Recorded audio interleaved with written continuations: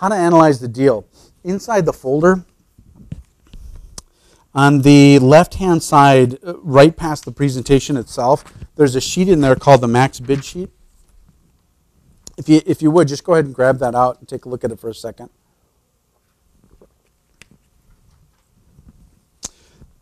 This is um, this max bid sheet is a very fundamental, straightforward analytical tool to help you get started, whether it's for yourself or, or your client, on, on how to analyze a deal.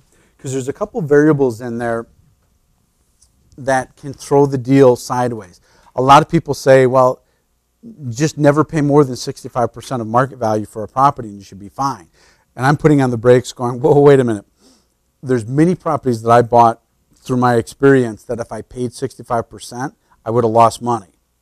And there's many properties that I bought on the flip side of that, that if I if I would have held out to pay only 65% or less, that I would have never bought it and I'd have missed out on the property that on the profit that I did get because I was able to pay more because I analyzed it in a much more in a in a more sophisticated way but not a complex way. So I'm going to walk you through this sheet. The the first part of this starts with market value as you can see at the top. Market value is really critical if you're not working with a licensed professional who has access to MLS and some of the important data you need to. As you're putting your team together, in today's market, it's probably the, the most important component and member of your team. I know we have at least one licensed agent in here. If you need one, grab his card before you know he, he gets out of here tonight if he's interested in working with investors because it's so critical. Because determining that number, if I'm looking at a property to buy tomorrow, whatever number he gives me to say, hey, if you put it on the market in two weeks, four weeks, whatever, when you're done with your remodel, that number, I feel confident you'll have a contract on very quickly within, you know, hopefully within 30 days. That would be my goal. So that way it's a 30 day contract, 30, 45 day contract. I'm in and out of the whole thing in about a 90 day period, worst case scenario. That's the relationship, that's the number that you need. If, if the number you pick is too low, that means you're going to shift the whole thing and not bid high enough at auction. You're going to be too conservative and get outbid. If it's too high, and the appraisal doesn't come in, you, you know, you, you risk the profit and possibly some of the investment that you put in. So, because what I, what I hope nobody heard tonight was this is a get rich quick and get rich quick overnight. Right? Nobody heard me say that, and I would never say that. This is a process whereby you invest and you make a return on your money, and you invest again and you make a return on your money, and you do it over and over and over, and hopefully by the end of the year, you had enough turns on your money that you made a, a return that makes sense for you. Because they don't all turn out great. There, you know, there's some surprises when you get inside. You know, you don't. The property on Solomon, I didn't see the inside of it before I bid on it. When we opened the doors and we did a walkthrough with the family that was there while we were working, you know, negotiating their exit with them, and it all went very smooth. Um, we were very pleasantly surprised. There's been many homes I opened the door and I went, ah, you know, that's uh, I'm surprised, but but not the good surprise. I'm the other surprise. Um, you know, and then now it's like, okay, this is going to cost me a little bit more. I'm going to dig into my profit a little bit here. But that's where this tool comes into play, is because you got to account for that. So again, starting at the top, market value. It's a variable, but that's where you got to have really somebody skilled helping you put that together.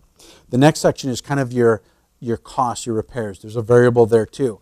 If on Solomon, if I peg 20 grand for repairs. And I've done a lot of fix and flips, so I can kind of look at the exterior of a home and go, if it's rough on the outside, probably going to be rough on the inside. Sometimes you're pleasantly surprised like Solomon, but other times you're probably pretty consistent on that basic analysis. So you got to pad it a little bit and, and plan for it.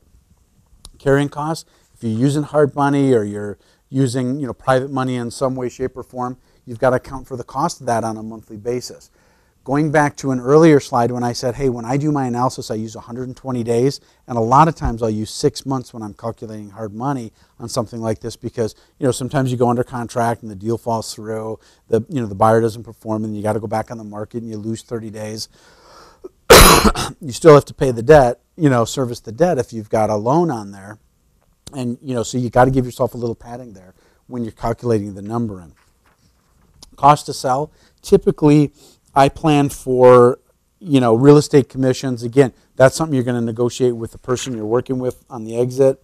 Um, taxes and arrears you have to plan for because it's one of the costs that comes over from the previous owner. HOAs disappear, but county taxes and arrear follow to the new owner always. The county does not go after the previous owner for any of those monies. Oh, the new person, be it me or you, is going to pay those. Now we have access to that, and you'll know the number through our system and our service for what that's going to be, so you can account for it. The uh, the InfoClosure fee, the fee we charge, you know, to go down and bid and have access to the site, um, as well as closing costs. And I usually figure about one to one and a half percent on closing costs on most properties that uh, that I sell. and then there's the profit. And I use the acronym MAP. MAP stands for minimum minimal acceptable profit on this project. And the reason I put in minimal is you know, sometimes I'll go around a room and go, hey, on your next purchase, like, what's, what's your target profit? And, and typically, for whatever reason, the, the answer is usually 50 grand. And, and I'm like, wow, I, I would love that too if the market would bear it. But I, you know, in the 15 years that I've done it, outside doing a big project like Aspen Ridge, you know, where the, the numbers are bigger, so the returns are bigger, because you go, oh, okay, how much did you get out of it? I got this much, you know, it's like way beyond 50 grand, right? But it's but as a percentage, it's it's you know, it's more in line. But on a, on a home that's, you know, you're buying it for rough, you get 100 into it and you sell it for 150 or, you know, whatever the, the ratios are, it's really hard to pull a true 150 out after closing costs, commissions, and those kind of things. I figure if you can, if you can make about a 10% return on your money on a turn and turn your money three times in a year, and maybe if you're lucky get a fourth one in there, you're looking at a 30 to maybe a 30 plus percent return on your money, if, if that makes sense, and your efforts.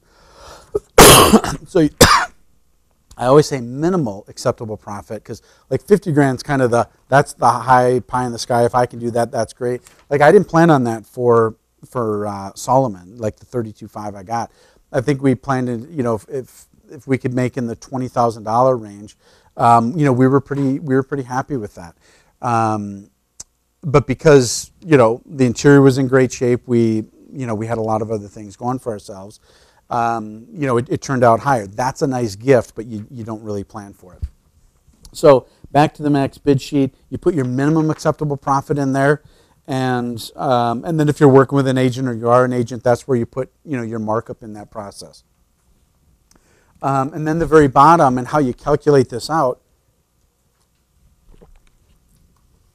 How you calculate it out is you start with the market value at the top and you subtract every one of these from the market value, including your profit, and you end up with your max bid. So that's the most you can pay at auction, assuming everything else is, is true and as accurate as it can be. That's most you can pay at auction. and that's the number you'd call into the bid line at InfoClosure. And we would double check two things taxes and arrears and confirm that with you, as well as the lien position and confirm that with you. And when all of that looks good and you feel good with it, we'll execute the bid. What we do for you is during the auction is we do everything we can to have you on the phone with us during the auction, and so you can you know participate in the bidding, so you can hear it. And the primary reason we did that was some somebody will give us a bid of 105. You know, 105 is my max bid. So you know, if when we in the day when we didn't have them on the phone, the property would sell for 105, 100, and then you call your client back and they go, "Did I get it? No. What did it sell for? 105, 100, and then there's, you know, there's plenty of conversation about, what, are you kidding me? I wouldn't lose that for 100. And, and so we just said, hey, not a problem. Let's put you on the phone. Now, what we don't want you to do is take your number and, and skyrocket it and, and be reckless with your own money. Um, but at the same time, nobody wants to lose one for, if you got 20 grand built into it and you have to go up another grand to get the property, making a $19,000 profit versus a 20 is negligible because you're still making a decent return in your money. So um, that's why we have you on the phone to make sure you're, you know, if, if it's just got to be tweaked a little bit, um, you're in a position to do that and not miss out on an opportunity that's right there at your fingertips. So, because it's always a heartbreaker to lose one for you know 100 or 500 bucks because it's it's just a just a tough pill to swallow.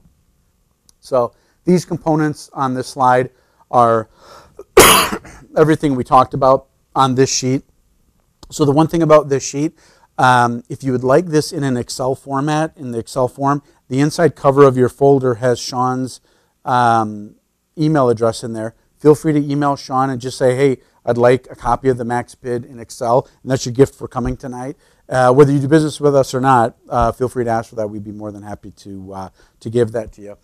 I created that tool, again, out of necessity. I created it probably the second year I was in the business, going, um, you know, I don't have a tool. I was writing on business cards, the back of a business card, doing my quick analysis at auction, or a you know a napkin, or you know just a scrap piece of paper.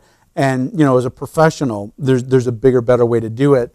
I've seen much more complex systems than this, and I could create something much more complex than this. But once you use it, and feel free, once you get the Excel, you can tweak it and, and do whatever you want with it if you have trouble with any of the formulas, because a lot of it doesn't have formulas built into it, because um, again, it's going to be specific to who you use as a hard money lender or what you use or your own line of money.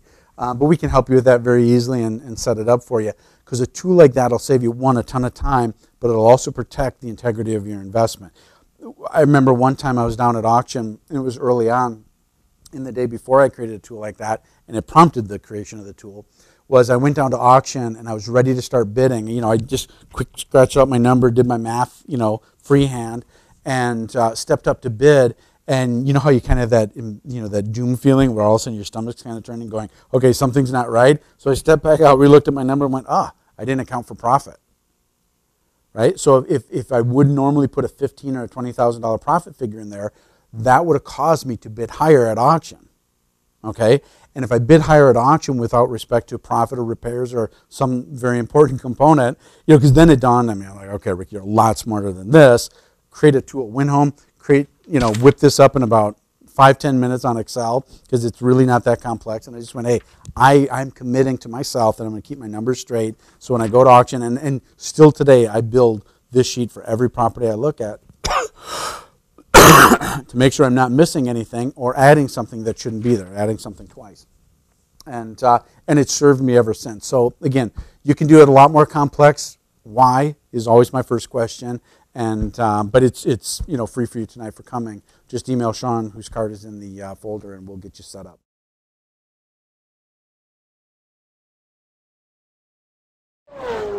Yeah.